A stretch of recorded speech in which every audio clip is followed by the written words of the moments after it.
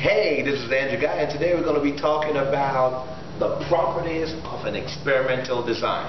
Basically, how in the world do we set up an experiment? How do scientists do it? How do they come up with all these different ideas, and how do they even carry it out? Don't they get confused? Don't they say, well, what do I do next? Well, I'll tell you something. There's a secret and it's called the scientific method. But I have a really, really, really cool way of getting you to remember that scientific method.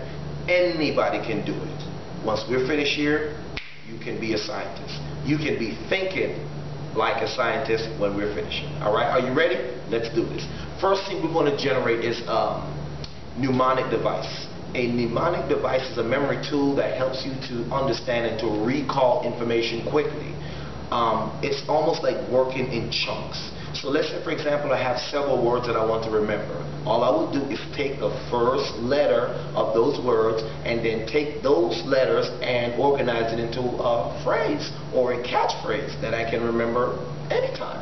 Okay? So uh, first of all, I'm going to write down what these letters are and then explain to you what they, where they came from. Okay? So come on. Here we go. The first one is going to be O and then I put two dots in it to represent, well, my eyes. A little bit big, so I can see, okay? So that's observation. We observe things every day. That's observation, the first letter. The next one is not a letter, but it's actually a symbol. It's a question sign. So we got to observe something and then we ask a question, okay? Then after we ask a question, we want to form what is called a hypothesis. And a lot of people say, what is an hypothesis? A lot of people have said, well, it's a educated guess. Wrong. It's not an educated guess because we're all educators. If we're all doctors and lawyers, um, scientists and physicists just walking around and guessing, that wouldn't be practical, would it?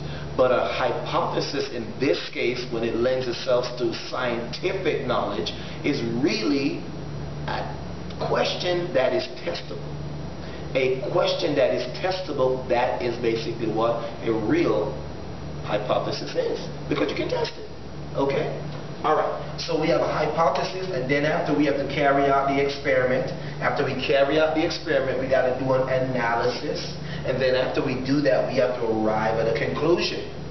Are we finished? No. The next thing that we have to do, we have to communicate our results. This is where I have this, and it says, tell it.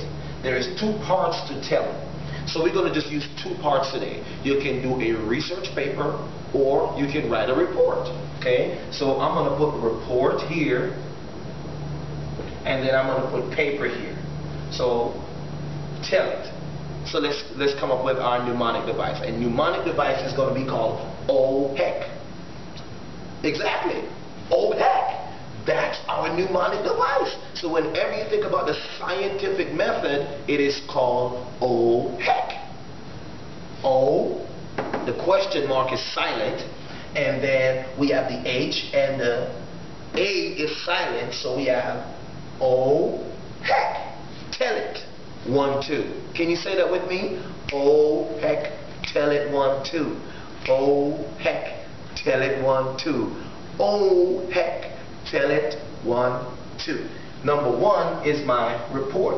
Number two is my research paper. So now you know the scientific method and how to set up an experiment or the properties of an experimental design. Now you're smarter than you were two and a half minutes ago. All right? This is Andrew Guy. Want to make science a little bit more practical.